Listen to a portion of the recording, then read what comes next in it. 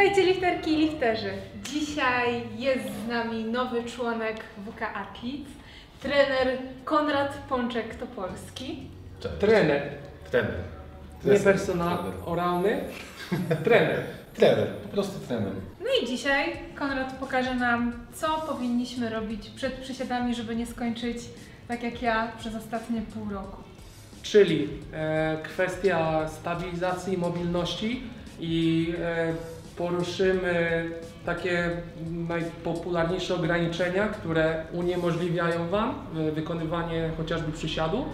E, no i Konrad przeleci po kolei ćwiczenia, e, powie co i jak i już podaję Ci pałeczkę w tym momencie. Przeleci po kolei, podaję pałeczkę, strasznie mi się to podoba. E, słuchajcie, zrobimy sobie bardzo prosty schemat mobilizacji najważniejszych stawów, które biorą udział w wykonywaniu przysiadów. Mm, Jest to równie dobre do, do ćwiczeń martwego ciągu czy tym podobnych. Tam, gdzie zaangażowane jest biodro, kolano, staw skokowy, mm, tam, gdzie musimy mieć e, także mob- zmobilizowany odcinek e, piersiowy kręgosłupa. Mm, Przejdziemy sobie po kolei przez takie podstawowe ćwiczenia mobilizacyjne z gumami. A wyjaśnimy Wam krok po kroku dlaczego, po co i czemu one służą, czemu guma jest tu, a nie gdzie indziej, czemu ruch ma być wykonywany w taki, a nie inny sposób, tak żebyście już dzisiaj mogli sobie wziąć gumę i zabrać ją ze sobą do klubu i sprawdzić jak to działa. To co? Do boju. Lecimy. I też jesteśmy we dwójkę na materiale, bo fajnie będzie widać różnicę, co jest e, problemem u Kai, a jaki jest mój problem, nie? Chcemy teraz Wam tylko pokazać, jak to wygląda przed mobilizacją i jak to będzie wyglądało po mobilizacji. A Weźcie też uwagę, zwróćcie uwagę na to, że to nie są ćwiczenia celowane w problemy i to nie są ćwiczenia głęboko, głęboko sięgające tych problemów.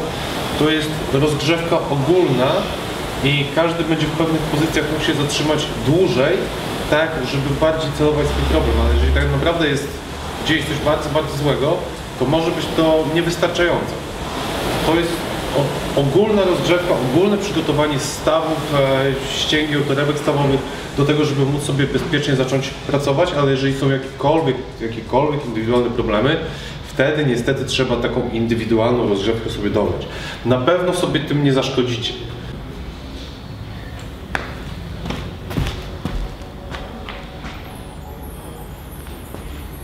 Gdzie się ogranicza? Staw skokowy i lecę. A tu? Czuję spięcie też. Jest pięć. No Tak. dobrze. U mnie biodra się schodzą. Ciężko. Tu. No. No. I do przodu mam Do przodu. Ty lecisz do przodu, Tak. a ja lecę do tyłu. Muszę dbać o to, żeby nie polecieć do tyłu, nie?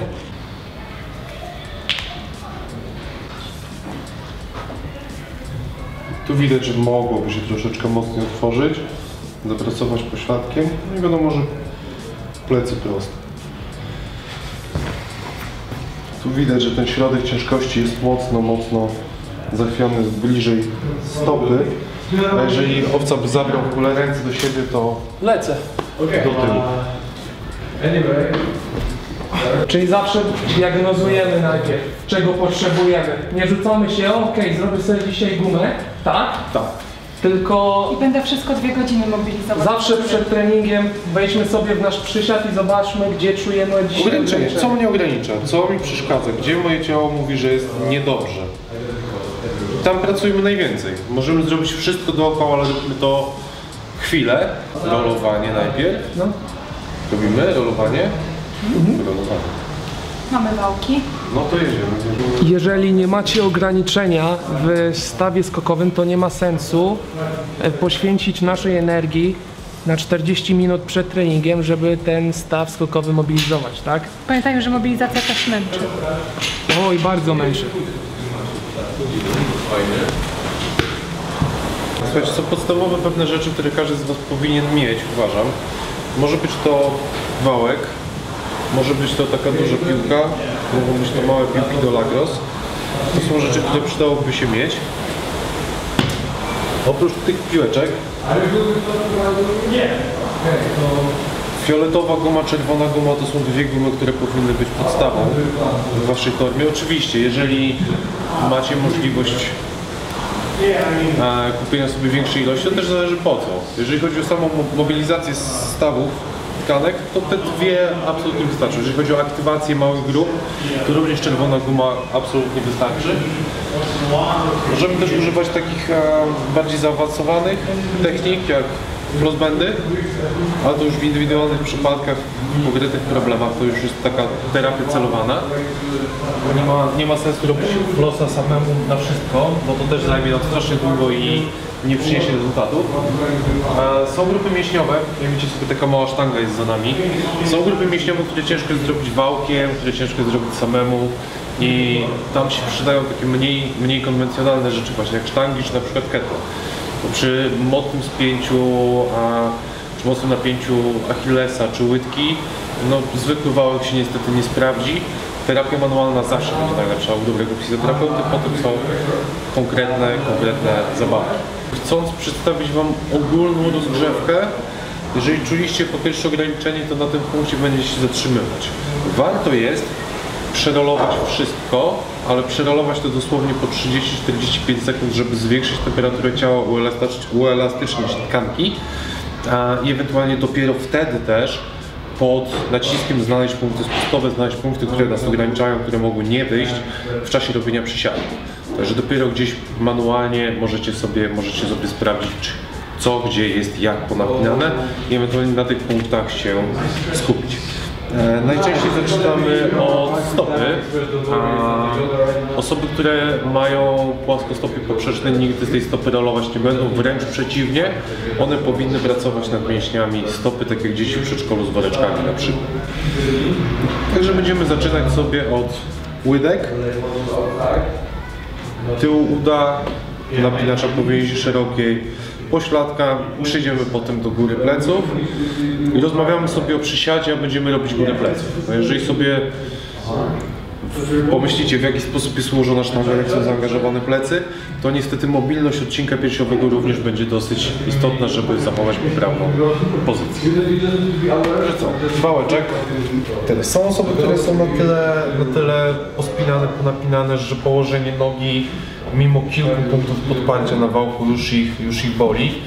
E, U niektórych wałek nie wystarczy i tutaj fajnie mi chłopaki podpowiedzieli. Ostatnio z tego korzystam, jak tylko jest, e, są ketle na siłowni, ja rozbijam e, na ketlu. Achillesa na kettle, więc tu sobie zobaczymy jak to działa na wałku, od razu zobaczymy jak to działa na ketlu.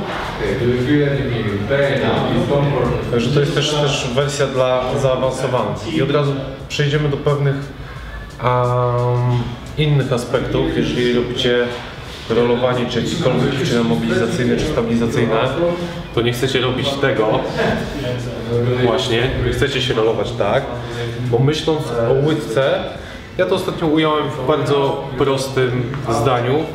Pracując lokalnie, musicie myśleć globalnie. Jeżeli chcecie naprawić sobie łydkę i a, zmniejszyć napięcie w łydce, to nie chcecie go zwiększyć na przykład w kapturach czy w mięśniach szyi. Także w tym momencie już, pracując nawet nad łydką tu, ja myślę o tym, żeby nie mieć pozycji powodującej konflikt barkowy, tylko chcę mieć stabilną łopatkę, wypchniętą klatkę. Nie chcę być w tej pozycji i zostawać długo w tej pozycji, przyzwyczajać ciała do tego, tylko chcę przyzwyczajać się już do tego. Mhm. Prawidłowa postawa ciała zawsze i wszędzie. I teraz tak, pracując sobie nad łydką, pracujemy stopą. Góra, dół, lewo, prawo, środek, żeby ją pogrążyć. Przejeżdżamy wzdłuż całej łydy. Aż do, aż do, aż do kolana. Tu jest praca bardzo powolna, bardzo mozolna, bardzo spokojna. Niestety przy takich problemach jak, jak łowcy ta praca nad stałym skokowym będzie naprawdę centymetr po centymetrze. Nikt nigdy nie powiedział, a, albo ja się nigdy nie spotkałem z tym, jak należy przechodzić z grupy mięśniowej do grupy mięśniowej przy użyciu na przykład. Nikt nigdy nie powiedział, mówię, albo się nie spotkałem, jeżeli ktoś kiedyś powiedział, to proszę podeślijcie tutaj w komentarzu linki, czy przechodzimy po całej taśmie, idziemy sobie dalej do dwójki, idziemy sobie dalej do pośladka, idziemy sobie dalej do napinacza powiezi, czy robimy prawa, lewa. Jeżeli chodzi o pracę na gumach, jestem zwolennikiem jednak pracy na całych taśmach mięśniowych i robienia jednej strony ciała od razu i dopiero przejścia do drugiej. To też daje nam bardzo fajne porównanie, w jaki sposób e, dana technika na nas działa. Jeżeli ja czuję, jak pracuje moja kostka, czy położę sobie tutaj i widzę, dokąd jestem w stanie dojechać palcami, zrobię sobie roller i tu się nic nie zmienia, to znaczy, że straciłem czas. Nie ma sensu tego robić tu. Więc tak naprawdę, jeżeli nie jesteście pewni albo nie wiecie, jak dana technika na Was działa, to po każdym elemencie sprawdzajcie. Czyli zrobiłem sobie przysiad, zrobiłem sobie łydkę, wstaję, robię przysiad. I sprawdzam jaka jest różnica. Dzięki temu wiecie, czy ta technika jest dla Was, czy absolutnie możecie to pominąć. Warunek, nie zepsujecie tego w trakcie treningu. Bardzo dużo osób roluje łydki, bardzo mało osób roluje mięśnie piszczelowe i przód podudzia. A okazuje się, że u niektórych, tak jak na przykład u owcy, jest, jest, to jest główny punkt ograniczający, a tak naprawdę u niego e, największy problem pojawił się w stawie skokowym dolnym. Tylko, że staw skokowy dzielimy na górny i dolny. Jeden będzie nam odpowiadał za ruchy góra-dół, to jest staw skokowy górny. Drugi będzie nam odpowiadał za ruchy lewo-prawo. Czyli jeżeli próbujecie wkręcić kolano, wkręcić stopę, zrotować kolano, napiąć pośladek i nie możecie, to będzie to wina stawu skokowego dolnego, który nie pozwala na odpowiednie ustawienie kości względem siebie. Nie będziemy wchodzić tutaj w bardzo duże detale. To jak będziemy nagrywać owce.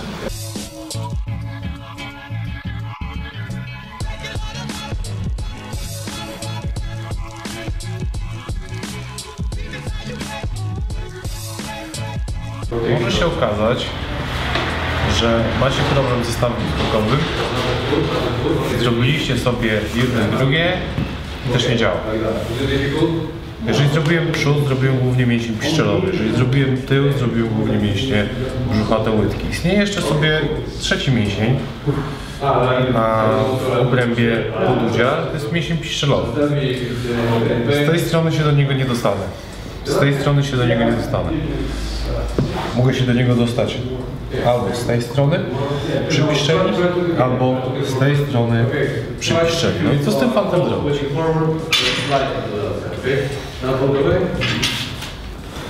Przychodzi nam tu z pomocą taką to sztangę. I znowu, zachowuję sobie kąty, otwieram biodro, które chcę, żeby było otwarte w przysiadzie, otwieram stabilnie tutaj i przyjeżdżam z tej strony przy piszczeli.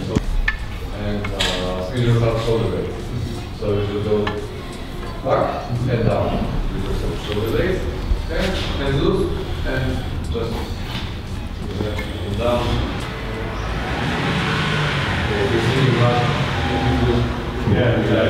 Teraz Kaja robi klasycznie. Specjalnie do filmu. Specjalnie dla filmu klasycznie, bo normalnie lubi lepiej. Jeżeli ja roluję tył uda, o, to wszystko pięknie ładnie. Tylko w przysiadzie względem tego uda, tak. Prędzej chcę wcisnąć się tu, pionowo plecy blisko siebie kolano, niż tak. Bo ta pozycja może zdarzyć się w dzień dobry, może się zdarzyć w martwym ciągu, ale nie zdarzy się w przysiadzie. Temu jest dużo bliżej do przysiadu. Tak samo, jeżeli ja otworzę już drugie biodro, wsadzę sobie bar, wsadzę sobie rękę, to mam otwarte biodro tak jak w przysiadzie, bo ja w dole, jeżeli chodzi o lewą stronę mojego ciała, jestem w przysiadzie.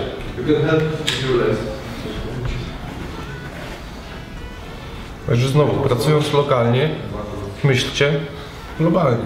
Więc skoro zrobiliśmy sobie łydkę, czyli podudzie z tyłu, zrobiliśmy sobie podudzie z przodu, zrobiliśmy udo z tyłu, to teraz oczekujecie, że zrobimy udo z przodu. No i zaskoczenie jest takie, że nie.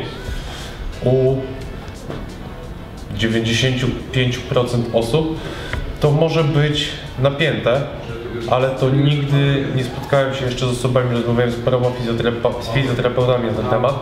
Nikt się jeszcze nie spotkał z tym, żeby nadmiernie napięta czwórka powodowała jakiekolwiek problemy, jeżeli chodzi o kolana czy biodra. Możecie dla rozluźnienia to zrobić, ale przypominamy, robicie trening przysiadów, gdzie mięśnie czworogłowe będą bardzo mocno zaangażowane i chcemy ich maksymalnego spięcia.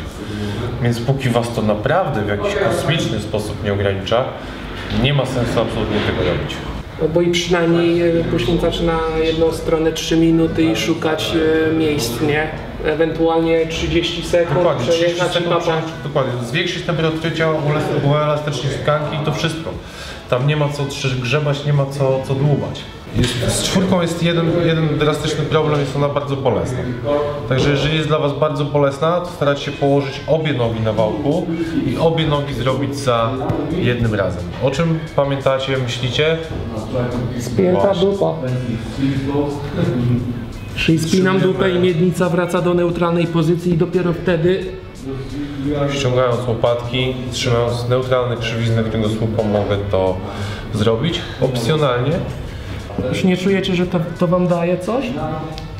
Jedna noga na wałku. Teraz tak, Owca przyjął taką dziwną pozycję, dużo lepszą pozycją i dużo bardziej przydatną w przysiadzie będzie otwarcie biodra. Zegnij nogę. Czyli znowu, jedna z nóg symuluje to, co się będzie zaraz działo w siadzie. Tu nie chcę być wygięty, więc mogę cofnąć troszeczkę nogę. Tu zostaje prosto bardziej celowane, mniej celowane. Jeżeli chodzi o ogólne rozruszanie pośladka, duża piłka będzie ok. Takie dziki jak na przykład Witek.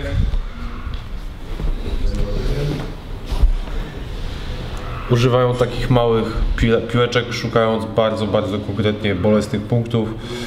No i molestują się na tych piłkach troszeczkę dłużej. Nie przyznają się, ale czerpią z tego przyjemność, nie? Proszę bardzo.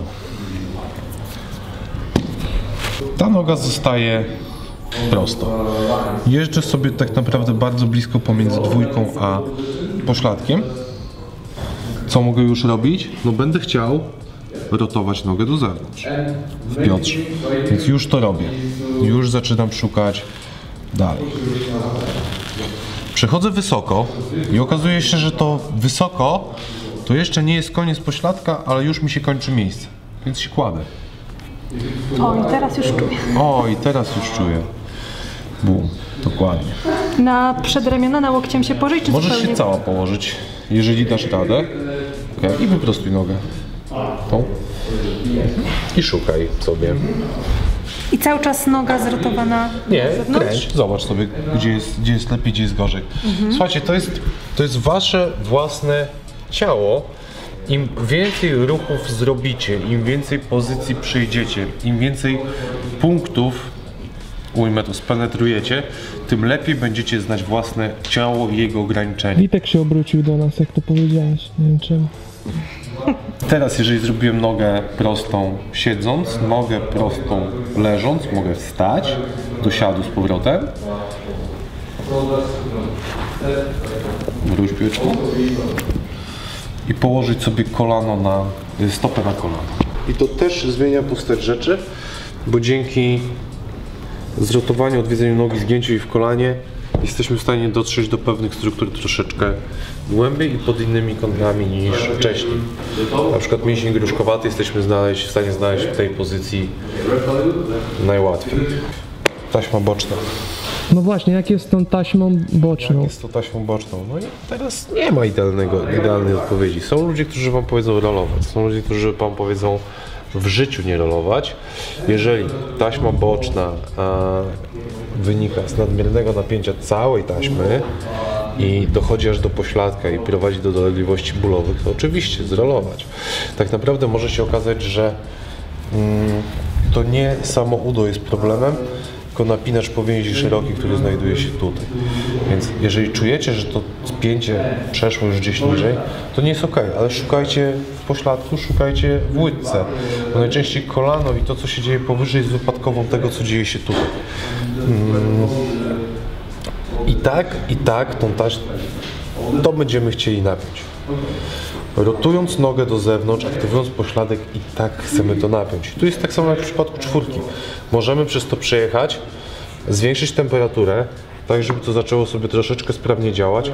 Nie ma sensu się tam głęboko wciskać tego jak, jak nie patrzeć rozluźnić, bo jeżeli chcemy zrobić przysiad, musimy otworzyć biodro, staw skokowy musi zostać, cała stopa zostaje na ziemi, staw skokowy musi zapracować.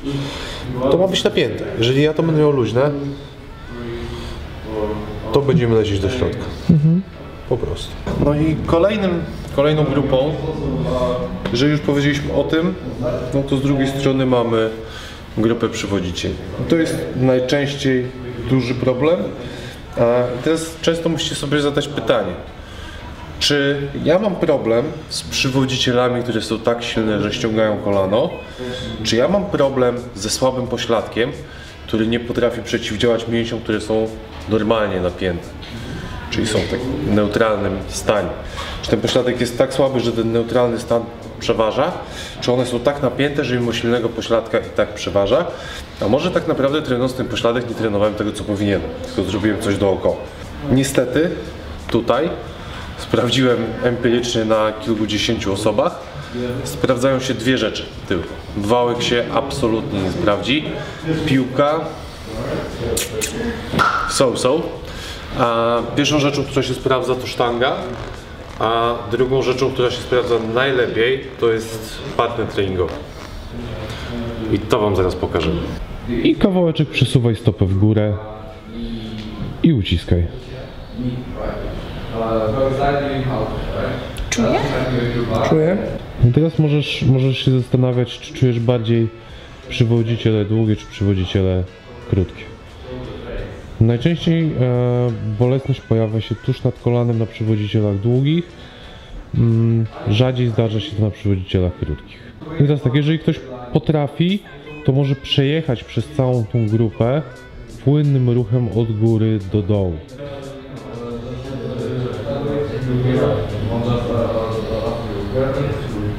Jeżeli nie mam swojego partnera treningowego, bo postanowił urywać wielkie ciężary, a ja muszę tutaj nagrywać materiał, muszę to zrobić sam. 90 stopni, stopa do zewnątrz, idziemy linię osi kończyny. Jeżeli by się okazało, że tego wałka nie mam, to może się okazać, że nie dojdę tak głęboko do przywodzicieli, bo moja noga mi na to nie pozwoli, zatrzymam się to na mięsiu czworogłowym. Biorę sobie wałeczek tak, żeby dobrać się tutaj do samego środka. Sztanga równolegle do piszczeli, stopa spokojnie może pracować na wałku. Ja mogę sobie spokojnie docisnąć kolano, wypchnąć klatkę, ustabilizować bark. Czy tą nogę przełożę tu, czy tą nogę przełożę tu, wszystko zależy od tego, na ile mobilny jest Wasz kręgosłup. Najważniejsze się dzieje tutaj. I tu ja mogę sobie sam mocno, mocno przejechać. Uciskam, uciskam, schodzę do dołu, schodzę do dołu. O, najlepiej by było poprosić jednak kogoś, komu ufacie, komu wytłumaczycie jak to zrobić i żeby jednak zrobił to ktoś, bo jest to dużo szybsze, nie powiem, że przyjemniejsze, ale dużo szybsze i dużo mm, bardziej skuteczne niż praca ze sztangą. E, czyli cały dół mamy pokryty oprócz stopy. Nie zrobiliśmy stopy. No. Jako, że cała taśma tylna zaczyna się już tu, na rozcięgnie podeszwowym, które płynnie przechodzi w ścięgnach Achillesa i idzie sobie do góry. Że bardzo często okazuje się, że samo rozluźnienie rozcięgna podeszwowego daje nam większą, większy zakres ruchomości w stawie skokowym.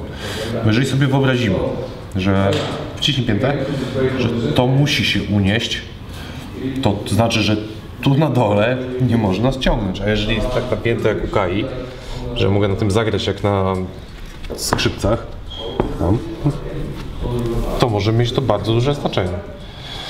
Tak jak wspomnieliśmy wcześniej, osoby z e, płaskostopem nie powinny tego robić. Jedną po zewnętrznej krawędzi i po wewnętrznej krawędzi. To jeżeli już przepracowaliście tą pozycję, fajnie. Tylko znowu jak jest problem z tą pozycją, to kolano w przysiadzie naprawdę się tam nie znajdzie. Przestaw tą nogę do przodu, proszę. Ekstra. A teraz pchnij kolano do przodu i spróbuj wcisnąć całą stopę, całą stopę razem z piętą. I pchnij kolano do przodu. Nie, zostań w jednym punkcie i pchnij kolano do przodu. To w takiej pozycji będzie kolano w siadzie. I zmień punkt po punkcie, centymetr po centymetrze. Jak uciskasz, co się zmieniło? Jak zmieniłaś nogę? Czuję. Pchnęłaś kolano bardziej. Wiele bardziej. I co teraz robimy? Jak już się Gumy. zrolowaliśmy? Przechodzimy do góry. Dobra, co z tymi gumami, pany? Montujecie sobie na wysokości, Fioletową gumę, tak? na wysokości biodra w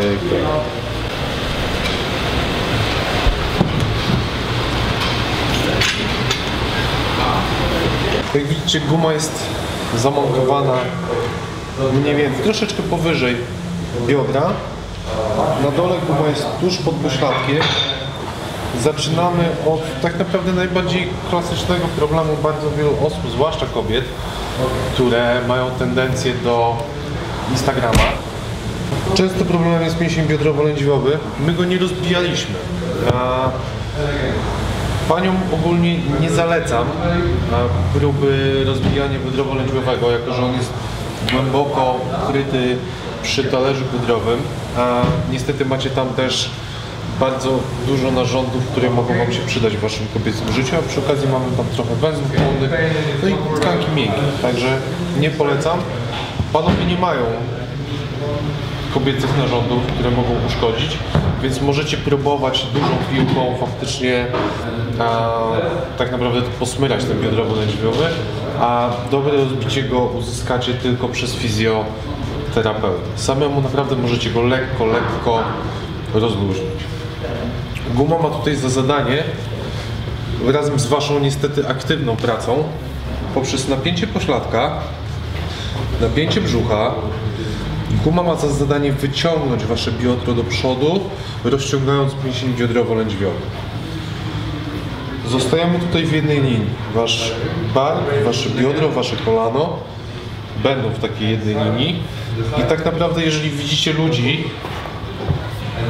którzy robią biodrowo-lędźwiowy, to najczęściej wynika to tylko i wyłącznie z tego, że puszczają oni mięśnie brzucha, zaniedbują stabilizację i tak naprawdę wypychają brzuch, zostawiając mięsień biodrowy skrócony.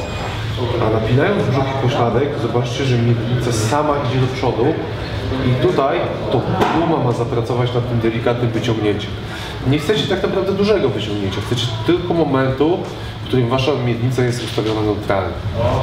Jedyne co możecie sobie tutaj zrobić, żeby tą pracę troszeczkę usprawnić, ręka tu. Co jest ważne, jedna linia to jest jedna płaszczyzna, druga linia druga. Nie chcę rotacji w biodrach, nie chcę rotacji w barkach, chcę być prosty. Zmieniamy sobie pozycję, przechodzimy sobie dalej. Teraz tak, y, rolowanie zaczynaliśmy od dołu do góry. Tak naprawdę ta rutyna to jest rutyna, którą ja sobie gdzieś tam wymyśliłem, która się sprawdza i dzięki moim followersom na Instagramie wiem, że ona działa i robi naprawdę bardzo dużo dla niektórych ludzi. Nikt nigdy nie powiedział, co mamy po kolei rozciągać. Te ćwiczenia są ułożone w taki sposób, żeby celować w największe problemy, najczęstsze problemy i żebyśmy mogli płynnie przechodzić z punktu do punktu. Bo najważniejsza jest ekonomia czasu, którego nikt nie ma za dużo. Także z tej pozycji teraz zamieniam nogę i przechodzę do boku, guma zostaje dalej w biodrze. Noga kroczna, troszeczkę do przodu, tak żebyśmy naprawdę, naprawdę ulokowali gumę głęboko w biodrze. Guma w biodrze, ekstra, mamy 90 stopni. Teraz wychodzę sobie nogą do tyłu i wychodzę sobie ręką do przodu. Jedna ręka, druga. Rękę dalszą, w tym wypadku lewą, umieszczam w takim trójkącie stworzonym przez e, linię nogi stworzonym przez stopę drugiej. Jedna linia i tam z tyłu mamy trójkąt.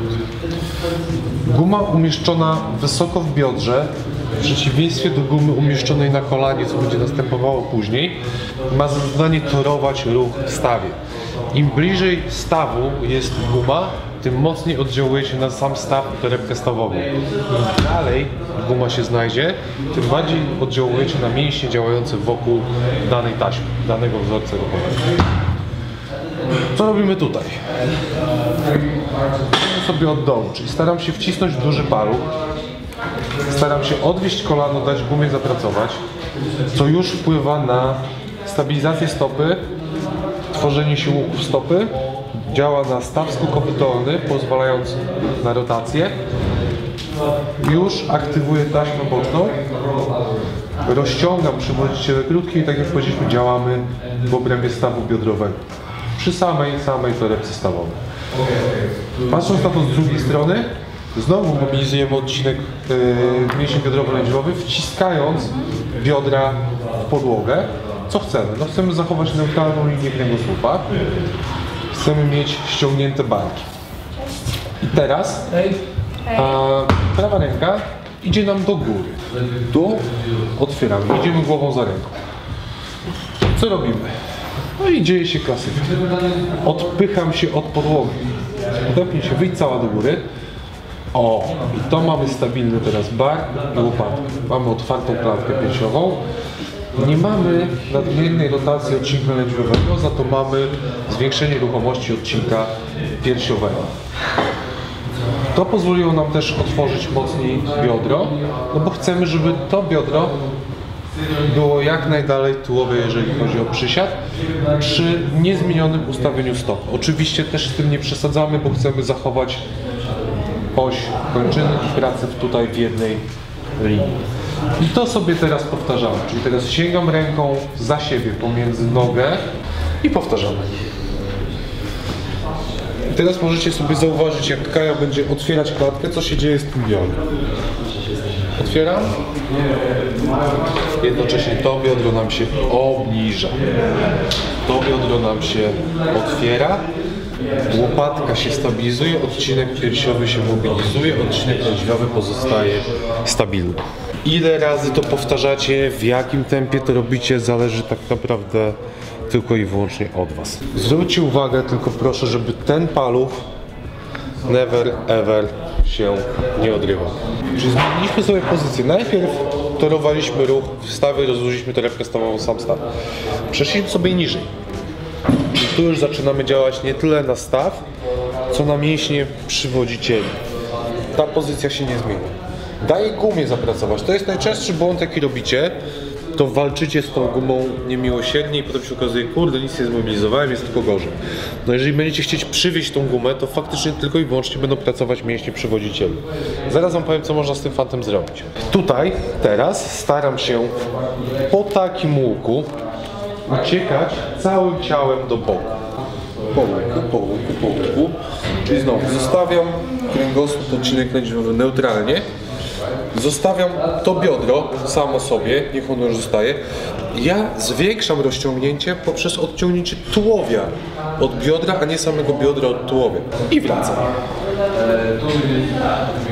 I wracam. Co możemy jeszcze tutaj zrobić sobie? Spróbuj się oprzeć tutaj na przedramieniu. O właśnie, czyli znowu możemy pogłębić tą pozycję. I teraz znowu robię dokładnie to samo. Uciekam do zewnątrz, uciekam do zewnątrz. Co mogę zrobić dalej? Mogę wyciągnąć ręce i uciekać jeszcze dalej. Nie myślcie o tym. Ta guma pracuje sama. I z tej pozycji płynnie wracam Na przedramiona? e, na całe ręce. Wchodzę na przedramiona sobie spokojnie i wchodzę na proste ręce. Co możecie zrobić? Teraz jest taki tip dla opornych. Jest coś takiego jak e, rozciąganie PNF, czy w skrócie napnij, rozciągnij. Skrót myślowy oczywiście. Możecie napiąć bardzo mocno tą gumę, przywieść nogę, bardzo mocno, mocno, mocno, mocno spinaj przewodziciele, spinaj, spinaj, spinaj, spinaj, maksymalnie, maksymalnie, maksymalnie, nie ruszaj stopą. Tu nie chcę, żeby się zmieniało. I puszczasz luźno. Psz. Robię wydech i otwieram. Maksymalnie, maksymalnie, maksymalnie pełne napięcie. Nie musi być ruchu, żebyście uzyskali pełne napięcie. Sami możecie napiąć mięśnie i otworzyć biodro. Czyli przywodzę, biorę wdech, spinam bardzo mocno, myślę o maksymalnym napięciu wewnątrzmięśniowym i rozluźniam. Przechodzimy do następnej pozycji. Przodem do raka, Gdzie guma? pod kolanem. Kolanem. I znowu, przeszliśmy sobie do pracy już nad stawem skokowym. Bo ta guma ma zadanie ciągnąć nas i ciągnąć moje podudzie do przodu, do przodu, do przodu, do przodu, do przodu. Idę sobie już zgodnie z linią kończyny. Czyli guma, moja stopa, praca w osi kończyny jest zachowana, czyli wychodzisz za bardzo. Chcesz iść tu. I daję gumie znowu zapracować. Daję gumie zapracować. I ona zostaje już bardzo lekko napięta, czyli wiem, że muszę się cofnąć, ale wiem też, że nie potrzeba mi bardzo dużo pracy na tym stałym skokowym. Kolejna rzecz to myślę znowu o tym, o czym mówiliśmy wcześniej, bo jak spojrzymy na kaję teraz, to wiem, że muszę tą nogę dać bliżej. Mhm.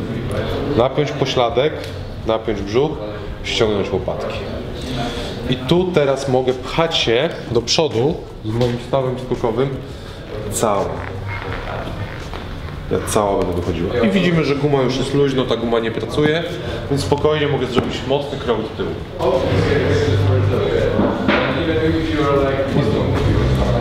Napięty pośladek. I ci dziewczyny, będziecie miały takie pośladki, że będzie widać w leginsach, czy się napina, czy nie, to jesteście na dobrej drodze do sukcesu. do przodu powolutku. I zobaczcie dokąd już doszliśmy tym stałym skokowym. Dalej zostajemy na stopie. Teraz zobaczcie, Kaja nie ma problemu, żeby się trochę pochyliła. I stop. Dlaczego? Nie chcemy mieć tu wypchnięcia biodra poprzez zwiększenie hiperlordozy, ale tak samo jak zauważycie w przysiadzie, jeżeli wasz kąt tułowia i kąt piszczeli są takie same w trakcie trwania ruchu, to ten przysiad jest dużo lepszy technicznie. Teraz, dla osób, ja na tym zazwyczaj kończę. Dla osób, które tak jak owca mają problem z tym, że lecą na palce, na tyle leciałaś na palce. Tak, miał na tył. Michał na tył. To to jest bardziej dla e, owcy, a jeżeli są osoby takie jak Kaja, które lecą na palce, to obracamy się. Ustaw gumę na stawie skokowym. No i klasyka.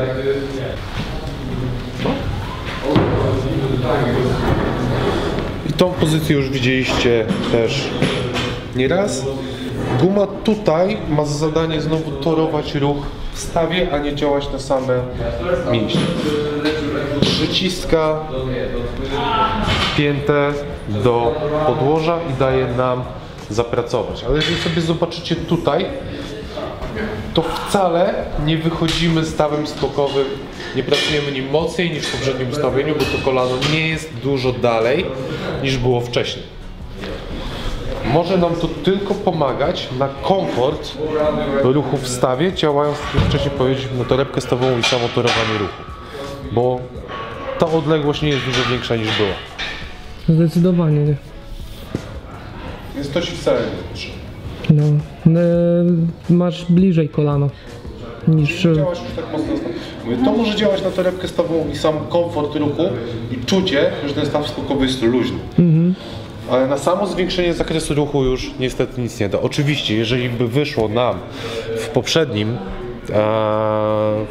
w poprzedniej technice mobilizacji, że ja idę do przodu kolanem, ale muszę oderwać stopę, wtedy od razu przechodzicie do tego. Tak, żeby usta- ustabilizować stopę i faktycznie móc zapracować stałym skokowym. Odrywam stopę, e, w sensie odrywam piętę. Odrywam piętę, oczywiście, przepraszam. Na tym, na tym kończycie. I teraz zrobimy sobie bardzo ciekawą rzecz, bo prosimy Kaję, żeby zrobiła przysiad, jako że robiła tylko mobilizację na jedną nogę. No słuchaj, zobacz gdzie ta noga idzie, zobacz. Zobacz. Czekajcie, tak walnę od... A, bo od dołu widać. Maksymalnie.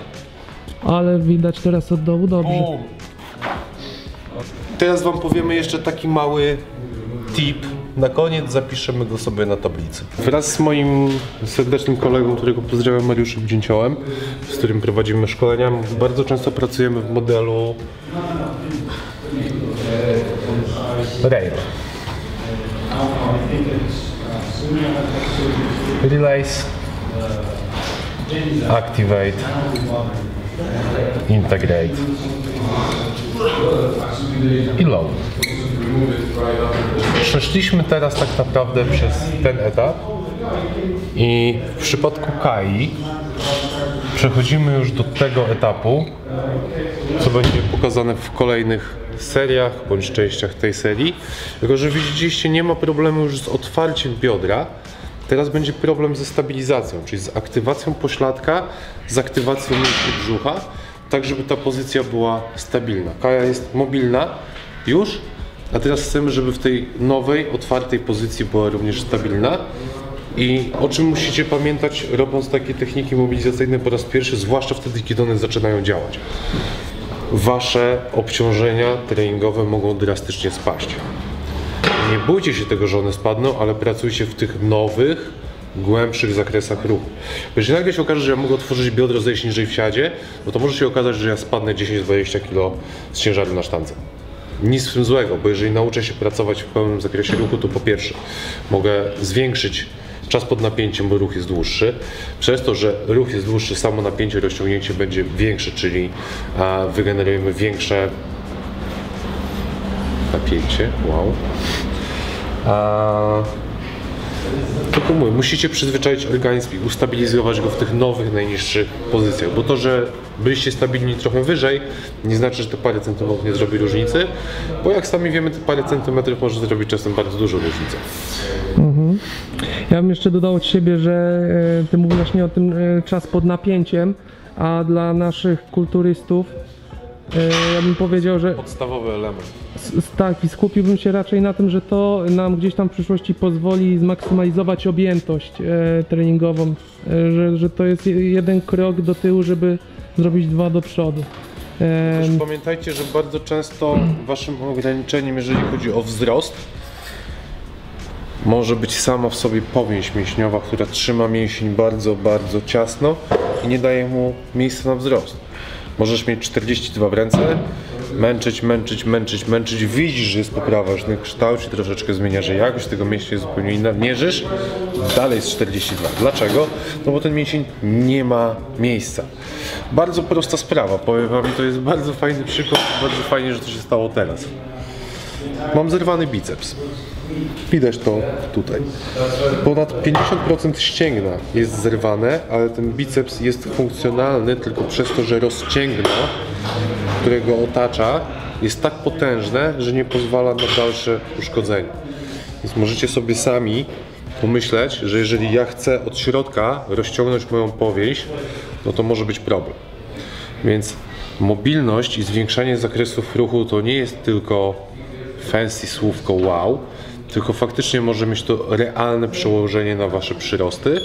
I jeżeli sobie zobaczycie kilkanaście lat wstecz, e, był sobie pan, który nazywał się Dante Trudel, a jego program treningowy nazywał się Dog Crab i opierał się on tak naprawdę o loaded stretches, czyli rozciąganie mięśni pod bardzo dużym ciężarem, właśnie po to, żeby wpłynąć na samą w sobie powięź i zrobić miejsce na kolejny wzrost. To samo proponował Eric Brozer w treningu Power Rep Range Shock, gdzie dni szok miały napełniać mięśnie krwią i rozpychać powięź i robić miejsce do wzrostu. Jeżeli sobie pomyślicie o treningu łydek Arnolda, czyli o oślich wspięciach na bardzo dużą ilość powtórzeń w pełnym rozciągnięciu, pełnym rozciągnięciu w pełnym zakresie ruchu, no to to znowu ma bardzo duże przełożenie na pracę na samej powięzi. Więc czasem wzrost to nie tylko ilość kalorii, ale też miejsce na wzrost. I możecie czuć się oszukani. Myśleliście, że tym jednym filmikiem przygotujecie się w pełni do przysiadu, Oszukaliśmy was strasznie. ale Strasznie tego to, chcieliśmy. ale jest to tylko pierwsza część. E, Pokazaliśmy Wam dzisiaj tak naprawdę dół ciała. Jeżeli sobie zobaczycie na sam ruch przysiadu i ulokowanie sztangi, to może się okazać, że nie tu macie ograniczenie, ale w obręczy barkowej. I bardzo szybką i prostą rutynę na obręcz barkową przedstawimy Wam już w kolejnym odcinku. W kolejnym odcinku pokażemy Wam, jak to zintegrować w całość oraz pokażemy kilka technik aktywacyjnych do przysiadu. Oraz rozgrzewkę dynamiczną Kaja Wam pokaże. Także całość, czyli integrację ruchu oraz rozgrzewkę dynamiczną będziecie mieć w odcinku trzecim, a wszelakie tipy akcesoria będziecie mieć w odcinku czwartym. Zbieramy oczywiście pod każdym filmem pytania do piątego odcinka, czyli do Q&A. I pamiętajcie, jeżeli chcecie jeszcze więcej informacji, jeszcze więcej tipów od Konrada, to przypominamy, aby wpaść na jego profil na Instagrama. Codziennie na Instastory nowe przypadki, także zapraszam.